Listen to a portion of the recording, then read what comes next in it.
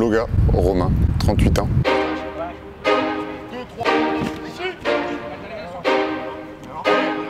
J'étais contacté par le club euh, d'Aix-en-Provence euh, en, fin de saison. Des connaissances communes m'ont glissé son nom euh, de façon très positive, donc j'ai commencé à m'intéresser à, son travail. Il y avait de très très bons retours le concernant. On s'est mis d'accord sur, sur, une, sur une shortlist dont il faisait partie. Je suis descendu au club pour rencontrer Frédéric Paquet, Fabien Cibret, le président. Et euh, on l'a rencontré, etc., etc. Et ça s'est fait, ça s'est fait après assez rapidement euh, dans la foulée. J'ai eu envie de saisir l'opportunité de venir entraîner, euh, de venir entraîner ici, tout simplement. Donc c'était pas évident à la fois. Pour nous, mais aussi pour lui, parce qu'il y a une vie familiale derrière, il y a des, y a des, y a des projections qui, qui, sont, qui sont différentes. Vite, suis-le, suis-le, suis-le, un, deux, un, deux, ouais, ouais, bouge, bouge, bouge, bouge. Très dynamique, très, euh, comment dire, on sent qu'il est à fond dans le sujet. Il vit vraiment le sujet euh, qui, veut ressortir sur, euh, sur ce qu'il a noté avant ou ce qu'ils ont vu avant avec le staff. Donc il vit beaucoup, beaucoup, beaucoup de trucs quand même.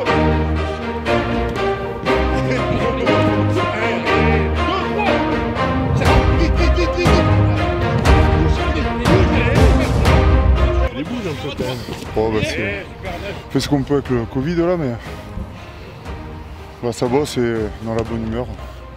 C'est très bien. C'est quelqu'un qui travaille beaucoup, qui, euh, qui, est, qui, est, assez euh, très méthodologique.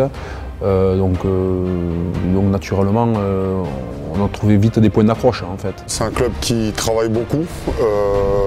C'est vraiment la première chose qui m'a marqué en arrivant, que ce soit le, staff sportif bien sûr, mais aussi tout l'environnement du club qui est tourné euh, vers le travail. Je crois que c'est une valeur forte euh, du club et, euh, l'ambition également. c'est un club qui travaille et qui est ambitieux. Tu la recherche quand même aussi d'une personne qui, faisait à la fois la mêlée et, la touche. Donc quelqu'un d'hybride et, des personnes, des, profils comme ça, c'est en général c'est des premières lignes ou des, secondes lignes, mais principalement des, premières lignes parce que bon, quand vous parlez à, quand vous parlez à des avants pour la mêlée par exemple, il faut il faut qu'il y ait une résonance et pour qu'il y ait une résonance, il faut avoir vécu les choses et, une certaine légitimité là-dedans. J'ai envie que, la ligne d'avant soit performante, c'est-à-dire euh, qu'elle avance, qu'elle avance sur euh, les phases euh, qui, la concernent plus, notamment la mêlée, les ballons portés, qu'elle sache bien les défendre.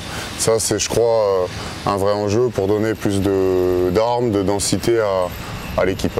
Arriver à développer un état d'esprit dur et, conquérant sur cette phase-là notamment. Donc après, il y aura euh, évidemment des fois où on avancera plus que d'autres. En tout cas, qu'on ait tout le temps cette détermination, cette envie euh, d'avancer. Ça, c'est sûr.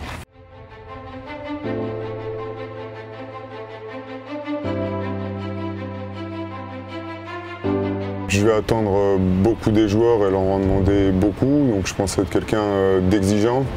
je pense être quelqu'un aussi de voilà, qui n'est pas contre le fait d'échanger avec, avec euh, les joueurs. Je pense qu'il faut être exigeant avec, euh, avec les joueurs et, en même temps euh, faire en sorte que le joueur se sente bien dans, ce qu'il entreprend, dans ce qu'il réalise. Très, simple, très, très accessible, avec un franc-parler mais sans beaucoup d'humilité et sans, sans, prise de tête particulière. Et donc ça c'est vrai que c'est assez plaisant. Il m'a approché très vite en tout cas. Euh, on a commencé quand même à pas mal discuter euh, sur euh, la côté. Il s'est quand même pas mal informé, etc. Donc plutôt blagueur aussi. Il aime bien mettre quelques petites pièces. Donc c'est sûr qu'en arrivant surtout dans un club, bah, tout de suite on est plus à l'aise en tout cas, sans parler du rugby directement, mais c'est quelqu'un qui met en tout cas très vite à l'aise. Il est plutôt très proche des joueurs.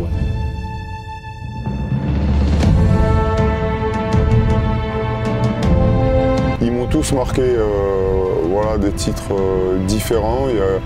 J'ai rencontré des, bons techniciens, des bons managers, des entraîneurs, euh, à mon avis, plus justes techniquement, mais je me suis nourri un peu de chaque, de chaque rencontre d'entraîneur que j'ai pu avoir dans ma carrière. J'ai eu l'impression d'apprendre à chaque fois quelque chose, que ce soit sur le jeu, sur moi, sur sur un peu les relations entre les gens. Donc, euh, ils ont tous, euh, ils ont tous en tout cas contribué à, me construire d'une manière ou d'une autre. Très, euh, ils montrent, beaucoup les choses. Il y a pas mal de théories, donc la pratique c'est une chose c'est sûr, mais il y a quand même pas mal de, théories avant la pratique. Et puis c'est important pour, pour rentrer dans le cadre de l'équipe. Quand tu es jeune joueur, euh, tout est, je veux dire, tout est important.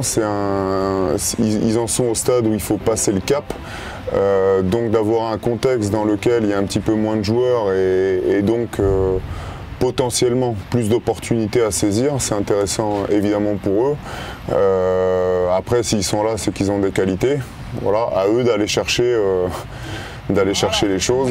en tout cas, ils ont une réelle opportunité cette année de, de, prendre du temps de jeu, de saisir leur chance, de montrer ce dont ils sont capables. Donc, euh, si je suis à leur place, c'est plutôt une, chance et une, opportunité importante qu'ils ont.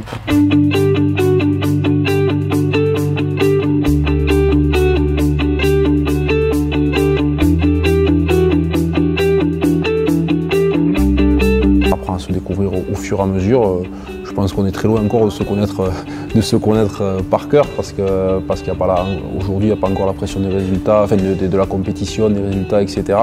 qui peut, qui, peut faire euh, émerger d'autres choses. Mais je suis très content de l'arrivée de Romain.